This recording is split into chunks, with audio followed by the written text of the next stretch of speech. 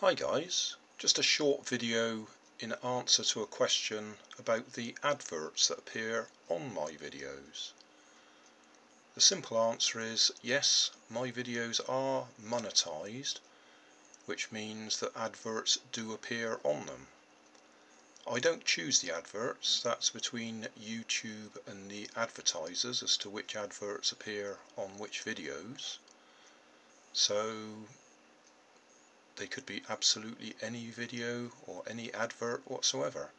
One thing I have noticed, and this mini quadcopter part 4 video is a good example, adverts have started appearing in the information tab up here where you click for more information.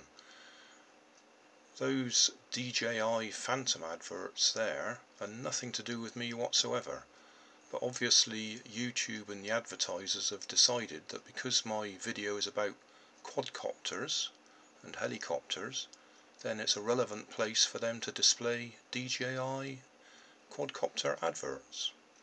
So that's it, I have no input to it. Uh, it's done by YouTube and the advertisers.